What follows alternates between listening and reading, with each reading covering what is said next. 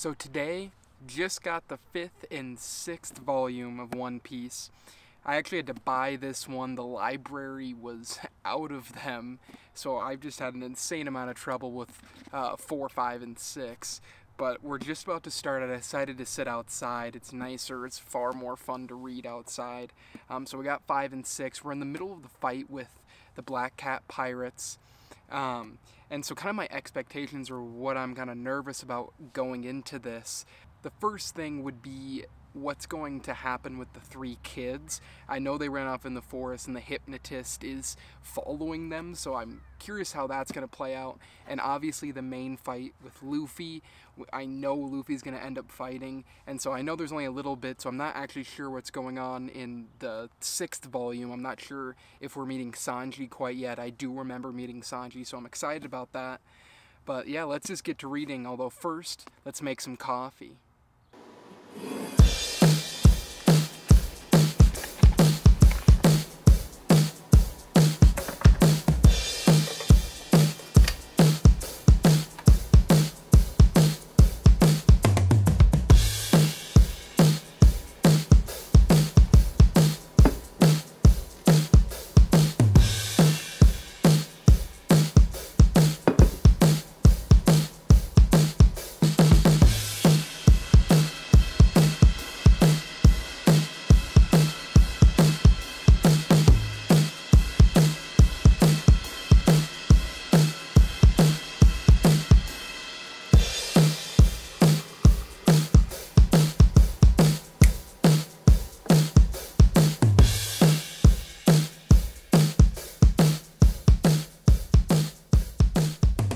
So I just finished readings volume 5 and 6, and so I have a few initial reactions. Um, first, I want to talk about a specific panel, and with the introduction of Sanji, I for some reason I thought Sanji was introduced a little later in the series, so I'm excited that he's here now because he's one of my favorite characters, and specifically this panel right here. I don't know if you can see that right there, where he just crushes the cook.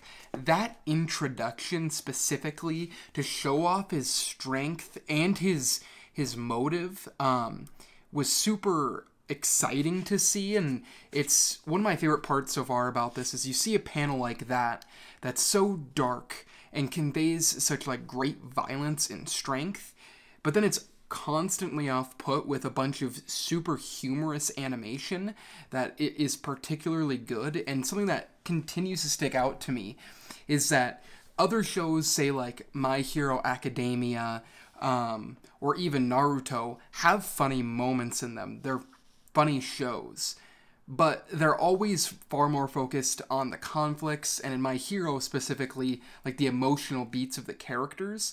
But for One Piece, it's far more of just like a straight comedy at times uh, than I ever really realized when I first watched it. Like, it is hilarious on a page by page basis, specifically with how Luffy reacts to how he reacts to Zeff.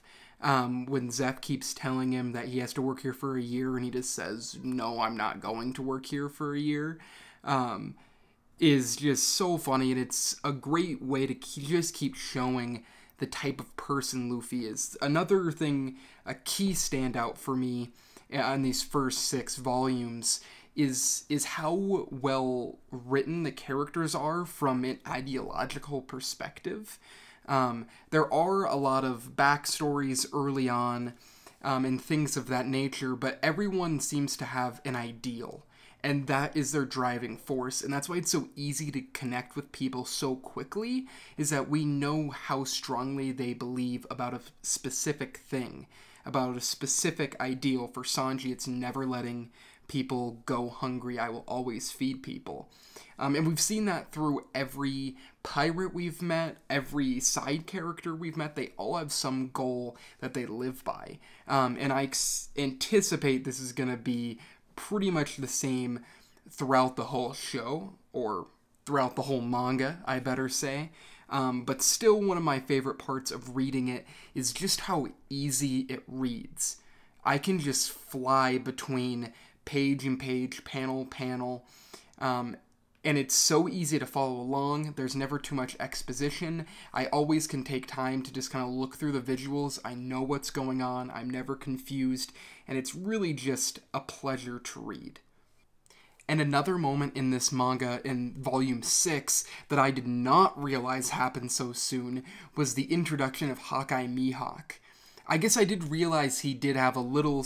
I do remember him fighting Zoro and having a little, you know, insert in the beginning of the series to say, hey, this is the guy Zoro is going after. But I never.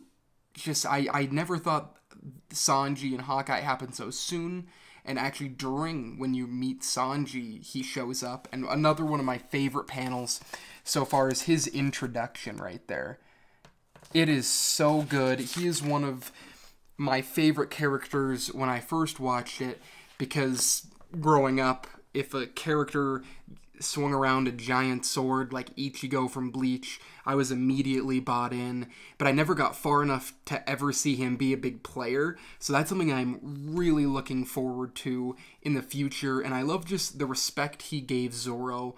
And seeing Zoro fail, this is the first time we've really seen Zoro just get destroyed. Like he had no chance to even come to even get a scratch on Hawkeye. Um, so that was cool to kind of set power standards. That's another good thing that's happened so far is that every person Luffy has come across, he's been able to beat rather easily. And so setting in like and I a goal for Zoro to set up and say, okay, this is how powerful, or you know maybe a little more powerful, but around there, that's how strong Zoro's gonna get at least for a while. I know there's probably gonna be even more escalation, um, but I think it's starting to do a good job of that, and I'm starting to gauge how strong everyone is. Um, so so far, six volumes in, and I'm absolutely loving it.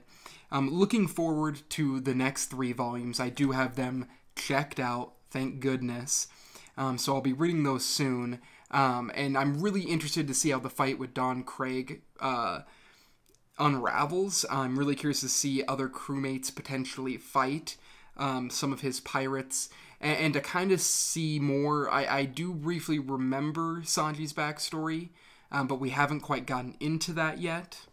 So I, I'm I'm pretty sure it's gonna be in the next volume or two. So I'm excited to see um, his backstory play out again. I do know basic beats of it, um, but I I'm curious to see how it reads versus me watching it when I was a kid. How impactful it is.